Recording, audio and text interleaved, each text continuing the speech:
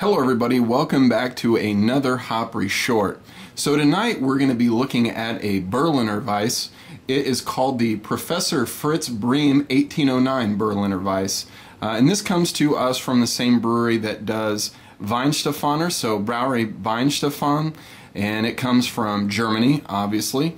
Um, but this is a German wheat beer uh, that's been soured with a uh, bacteria called lactobacillus.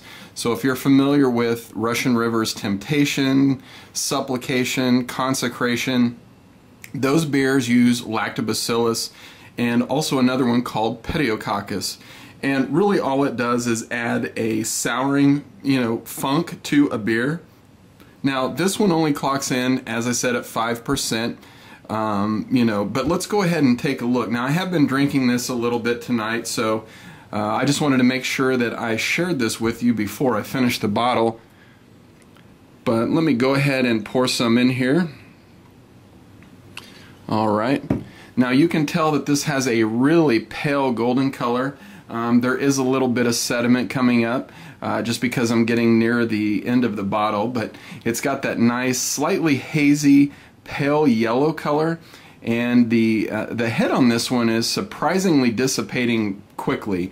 In fact, I imagine it's going to be pretty much gone here within the next few seconds. So, with that said, let me go ahead and get my nose in there and see how it smells. So it has this really nice sort of um, uh, tart funkiness in there, um, and that is a direct reaction of the pediococcus, or excuse, excuse me, the lactobacillus. Um, so it gives it that sort of tartness that you would find from one of those Asian beers that I talked about uh, earlier from Russian River. Um, but really, you can see the head on that is it, it's it's really it's gone. So let me go ahead and get in there and taste it, and I'll let you know what it tastes like.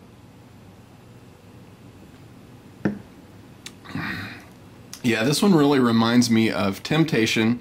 Um, because this is a wheat beer and it's got a lower ABV, um, it really does have sort of a refreshing quality. Uh, I'm not saying that it's extremely refreshing just because it's so tart. Um, but you know, really a nice little beer. Uh, if you're somebody who wants to know kind of what temptation or supplication tastes like, but you're just not able to find Russian River beers in your area, I really highly suggest getting this one. And when you understand what that kind of funky tartness tastes like, you'll really know what um, those beers taste like. So anyway, enough said for today. I'm going to go ahead and finish this one off, and I'll see you guys next time. Cheers.